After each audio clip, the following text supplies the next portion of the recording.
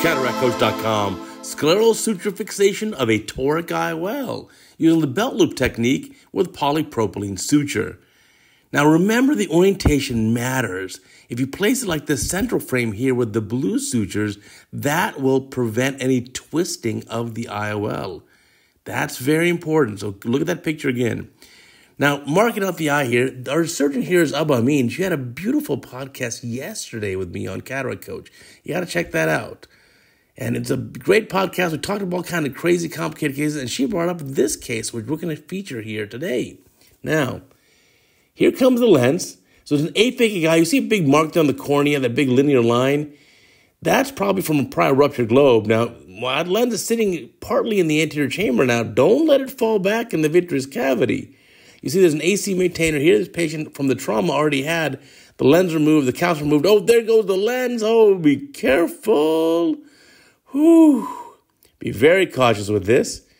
The patient's already had a full pars plana vitrectomy. If you let go of that lens, it gravity's taken over. That thing's sitting on the macula. Be very cautious here. So maybe here, even putting like a safety loop through one of those haptic holes would be a great idea. But going inside here, this is why these tough cases take time off your life. Like just watching that took a week off my life.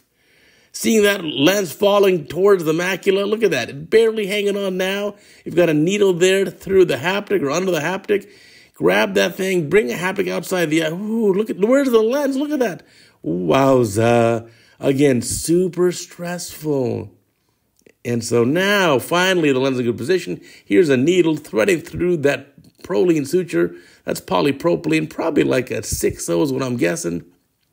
And so now that's going to be used to form a loop around each of those haptic holes. Now, this is a neat lens. This lens has eyelets there. This is the Bausch & Lomb lens, has eyelets at the haptic optic junction.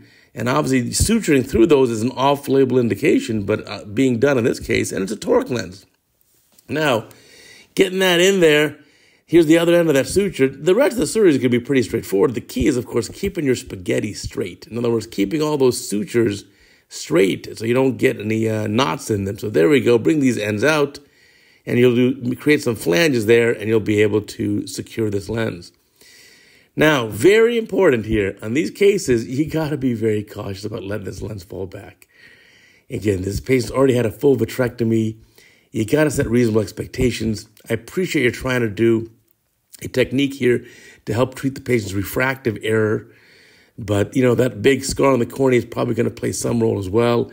Another option, if you don't want to do a case like this, which is very stressful, and I'm not looking to stress myself out either these days, you know what? Maybe I could send this patient to my vitreoretinal colleague, or maybe I could do a sutured IOL, like four point with Gore-Tex fixation, and then just choose an IOL power that's going to ensure the patient ends up myopic. Now, if the patient ends up plano minus two diopters of astigmatism at uh, 90 degrees or whatever axis, that's a slam dunk PRK or LASIK. Really easy. That's a pure myopic ablation because the total spherical equivalent is on the minus side. That's a clean cylinder. Plano minus two at 90 is just a beautiful, clean ablation. The patient will be happy. So that's another option, do a bioptics approach. Plus, remember that big laceration on the cornea may cause some irregular astigmatism. Here at the end, just cut these ends down, do some little uh, cautery, get that tightened up. There's the end of the case. Beautiful. Remember, check out that podcast. Every Sunday, it's a brand new podcast, and we try to feature a great video on Monday that's related to the podcast.